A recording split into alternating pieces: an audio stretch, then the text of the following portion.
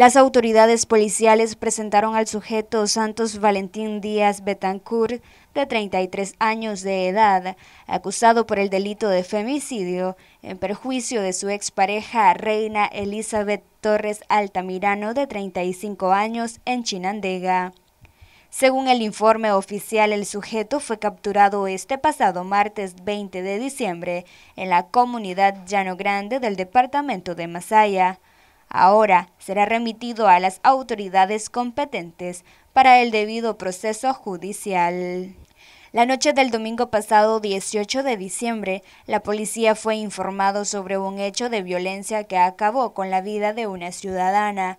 Las autoridades llegaron a la conclusión que el crimen se originó tras una discusión entre la víctima y su victimario. De acuerdo a la narración policial, Díaz Betancourt llegó a la casa de su ex cónyuge Torres Altamirano y motivado por discordias entre pareja, discutió con ella y luego la agredió con un cuchillo, provocándole la muerte. Tras cometer el femicidio, el delincuente huyó del lugar.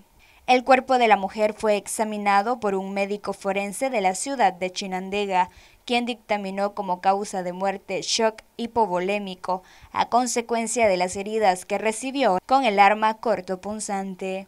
Las investigaciones de criminalista arrojan culpabilidad para Díaz Betancourt tras peritajes químicos y biológicos al coincidir el tipo de sangre de la víctima con las manchas hemáticas encontradas en el cuchillo ocupado en la escena del crimen.